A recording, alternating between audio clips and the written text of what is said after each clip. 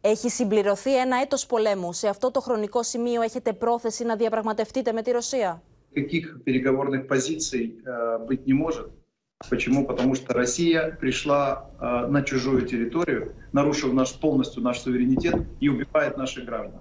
Очевидно, что любой переговорный процесс компромиссного плана, а для России это принципиально важно, зафиксировать оккупированные территории за собой, зафиксировать не проигрыш в войне, зафиксировать безответственность за военные преступления и так далее. То есть любой переговорный процесс перечеркнет э, все, что мы год делаем, защищая свою страну. Россия не слышит дипломатию, не слышит информацию, не слышит диалог. Россия слышит только силовое подавление. Поэтому давайте мы в рамках э, обеспечения безопасности Европы силовым образом поставим Россию на место и вернем ее к осознанию, что только международное право определяет э, отношения между государствами.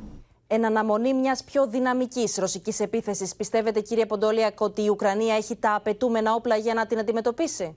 Чтобы точно понимать график окончания войны, календарный план окончания войны, это зависит исключительно от объемов поставок оружия, конкретного оружия в конкретный этап войны. Получаем конкретный объем оружия, мы готовы, мы воюем, не кто-то воюет, Украина воюет. И очень странно, когда нам говорят, единственная просьба к нашим партнерам всегда, смотрите, из-за того, что Россия накопила такой объем оружия, конечно, нам необходимо паритетные возможности для того, чтобы на поле боя Россию поставить на место. Ποιο είναι το μήνυμά σας, το μήνυμα της εμπόλεμης Ουκρανίας προς τον υπόλοιπο κόσμο.